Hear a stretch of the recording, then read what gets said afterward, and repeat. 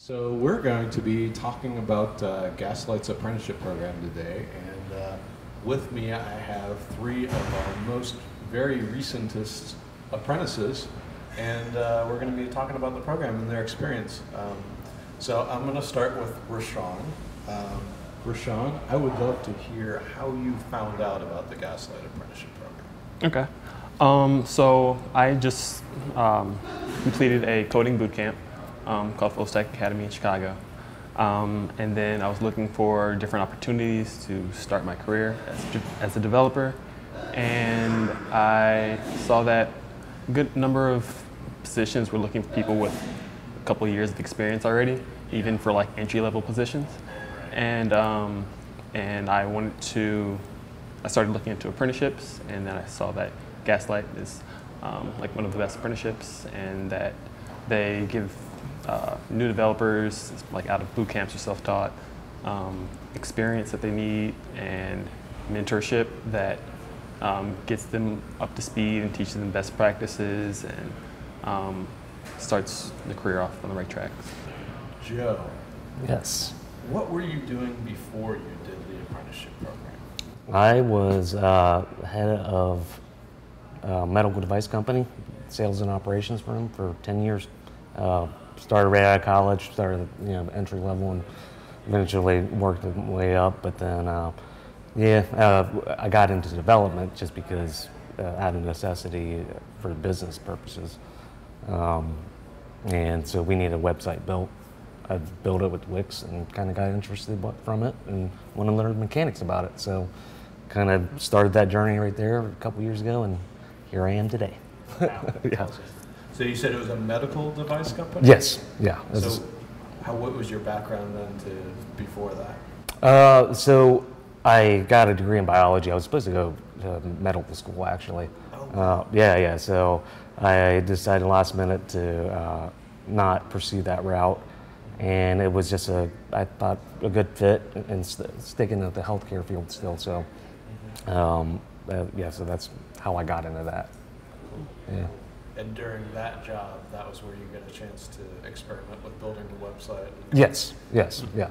It was strictly out of uh, business necessity. Yeah. Yeah, because I mean, we were um, uh, outsourcing it to an agency, and it just seemed like kind of slow uh, with getting minor changes done. So then we we're trying to explore different routes to, um, I guess, make things expedite things. One, and then we didn't necessarily want to bring it in house, but then you know it, it turned out you know Wix was super easy, drag and drop, whatever. But uh, yeah, the mechanics behind it was pretty cool. So then yeah, I wanted to learn everything about it from then then on. So yeah.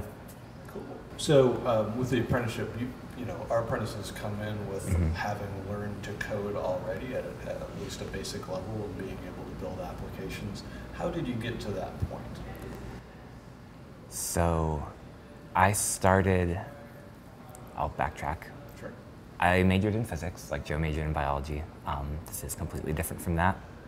Uh, after I graduated, I couldn't find a job, so I was trying to get some independent research experience from this group at the Rochester Institute of Technology doing astronomy research. And they needed someone to clean their data. They were taking um, light samples from a certain group of stars and they needed okay filter out all these stars outside of a certain luminosity. Like okay i know matlab. I used that got drilled into me in college. Matlab's a really bad tool for this. I learned r and started learning data science. Eventually that flipped into front-end development. I taught myself a free, a free code camp and a couple years later here i am How was the apprenticeship program uh, different than other options out there for you? Um, I think that it gave me a lot more um, like direct like mentorship. Um, uh, other companies that I talked to, they were kind of like, okay, you'll kind of have someone who won't exactly like be there teach you everything. They'll just kind of like, okay, this other company works, and just give you your own tasks and hope that you're doing it right.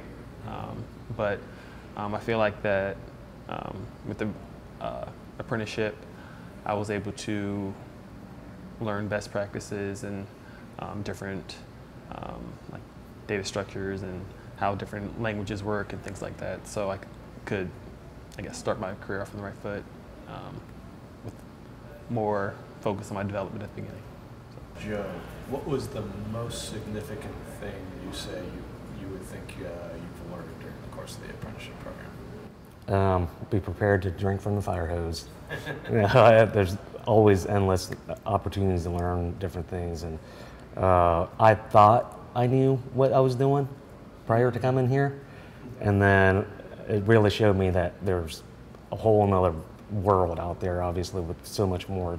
Uh, I guess I uh, didn't have much depth or breadth of knowledge, more or less, you know, and so I think uh, the main things like I take away from this was, um, you know, I didn't even know that about unit testing or simple things like that. And you, uh, the apprenticeship program introduced that, you know, unit testing and also fundamentals, I guess, like uh, data, structures and algorithms.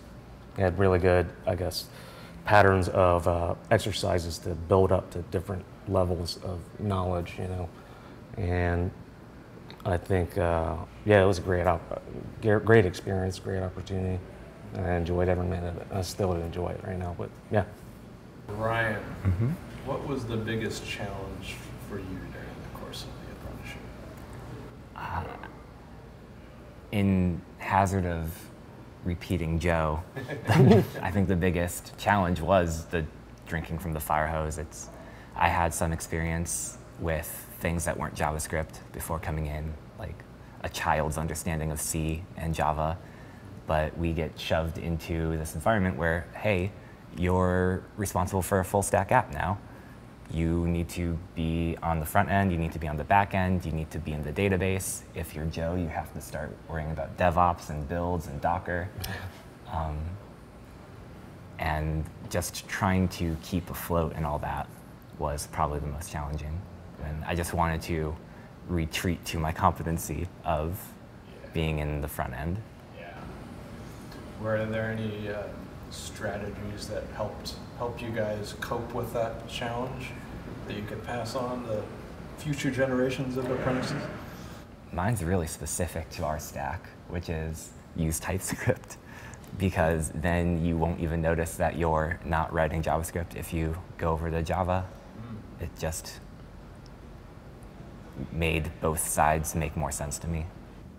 to go right back to pri- before the apprenticeship, you know, it was like I wasn't really looking per se, but uh, you know, every job descriptions they all had you had to have X amount of experience. The apprenticeship program gave, I guess, lowered that barrier of entry for me at least, and uh, gave me opportunity to pursue th- this passion for development. So I mean, I think I'm excited about where it's going to go next because, like, um, I initially came in thinking, you know, full stack was just front end, back end, and uh, I've gotten the opportunity to do, like Ryan had said, lots of DevOps stuff and working in GCP, and it's uh, it's been fun, and I can I look forward to seeing where else it go, uh, goes from there. I guess you know, but yeah. I'm excited to be able to make the things we're working on better now. Um, I've somehow convinced people that I'm an expert in things, and now they come to me for like help with stuff, or um, I am CC'd on the things that are like, hey, the UX people, the people who are really good at the UX development, take a look at this. And I don't know um, what lie I've fed to these people, but it's been really encouraging to go forward with this stuff. Yeah, that's awesome when you go from beginner to Mhm. you know uh, at least somebody that people come to. That's that's really cool. Yeah, and I guess for me, um, just like going into the apprenticeship, like knowing like I guess like full stack JavaScript, and then like making some, as I realize now, uh, pretty small applications. Even though I thought they were like the best things ever, um, like after like six and a half months of like learning a new language, new frameworks, and just like being able to work with other teams in a large enterprise level application. Um, just like imagining like a year or two down the road, like what I'll be able to do um, is like pretty exciting because I mean after six months, it's I've learned so much that I could I don't, I don't know what I well I don't know what I'll be able to do down the road. So kind of looking forward to that. Yeah. Being able to build more things. Yeah. Very cool. Well, I really thank you guys for coming in and uh, talking to us about your experience. Um, thanks very much. Thanks for having us. Thank you. Thanks.